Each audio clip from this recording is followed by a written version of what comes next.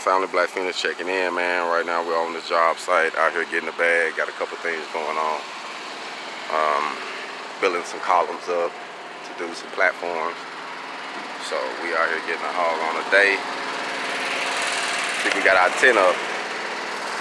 Messed around and forgot it the other day, boy. And I tell you, it worked our ass off. That fucking sun beat us up. So today, we are working under the canopy. You know what I mean? Getting a hog on. Black Feniks.